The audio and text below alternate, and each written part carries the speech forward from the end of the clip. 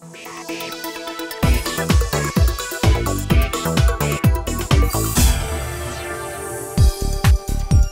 Hi, this is Phil Hinton, and welcome to another exclusive video on avforums.tv. On Wednesday, the 5th of October, myself and AV Forums reviewer Steve Withers attended the JVC UK demo rooms to witness the new 3D projectors being launched by the company in November. We spent around five hours fully testing the X30 and X70 projectors with various viewing material as well as measuring the units to see how they performed. JVC will be launching three models in November. Okay, so this year we're launching three new models, as you said. So we have the DLA X30, uh, DLA X70, and the DLA X90. Um, out of the box, you're looking at the X30 is uh, 50,000 to 1 contrast ratio, native as usual. And the 70 is 80,000 to 1 contrast ratio and the 90 is 120,000 to 1 contrast ratio. In terms of the policy between the 70 and the 90, that goes as, as with the previous years of the high-end models. So the top 2% of the components are created, um, that are created to make a, um, 70 go along to make a 90.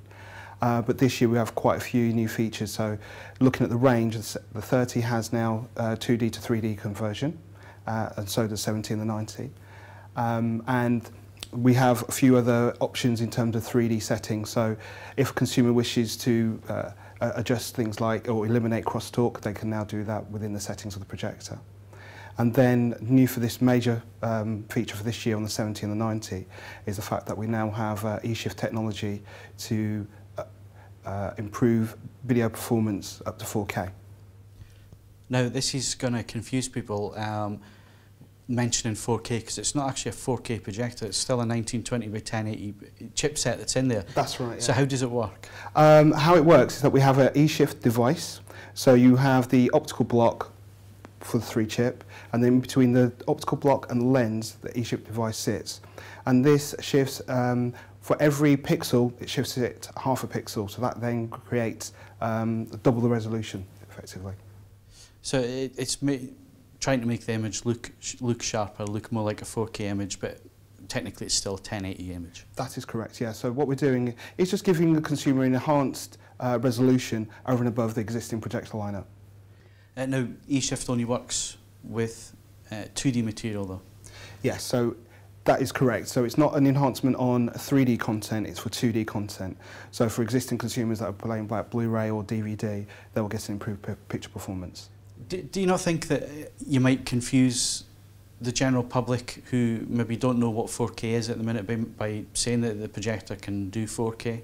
So I personally believe that it's something that it's a, an option we can give um, not just informed consumers um, but new consumers that want to have uh, extra performance out of their projector. Uh, so Steve, I'm going to put you on the spot. The X30 is going to be really popular as well as the, the 1790. What kind of prices are we looking at? Um, next week we have the dealer, the official dealer product launch, so they'll be announced next week. So you're going to keep our forum members waiting just that little bit longer? Yes, we will. Let's uh, look at the, the X30 now. One of the new features we've just been playing about with it is the uh, lens memory function. Yes. Uh, so explain that for users. So um, as it suggests, you have a lens memory. So when you set up your projector, if it's in 16 by 9 mode, for instance, you can just uh, change the zoom, the focus, shift, etc. And then go into the menu and select lens, uh, lens memory and save it. Then, if you're lucky enough to own a 2.35 to 1 aspect ratio screen, you zoom out your image uh, to fit that screen. And then you, once again, go into lens memory and save it as lens memory save 2. You can go in and rename it if you so desire. Uh, and then once you've done your saving, you can just literally go back and there's a discrete button on the remote control and you can access whichever memory you require. So, so talking about uh, 2D to 3D conversion, I mean, all three projectors uh, do that and they also have 3D modes.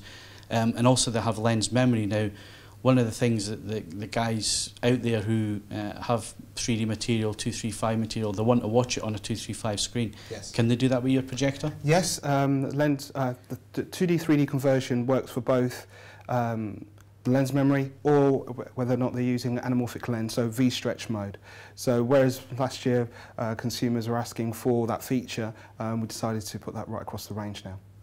And uh, with 3D, uh, new set of glasses coming for, for the models this year, and I understand they're going to come in the box when you buy yes. a projector. Um, as before, we are supplying two pairs of glasses and the emitter.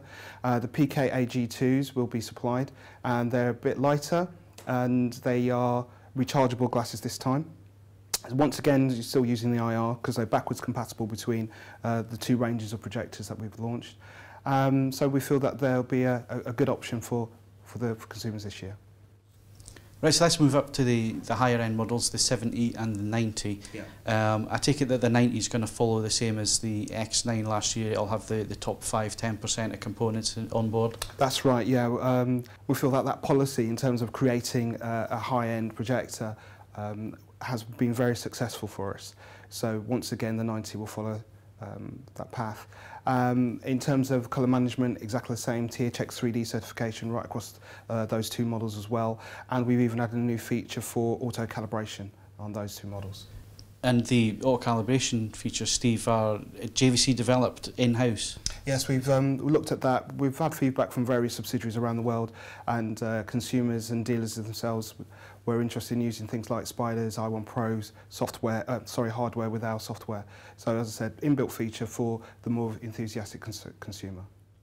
It's obviously, Steve, we've had our preview today. Um, the guys on the forums are getting to see this video. You've got your dealer launch next week. When can the public actually get to see these new models and when are they available? So the public can get to see them at the Manchester show um, at the end of October, and then they'll be officially on sale in November.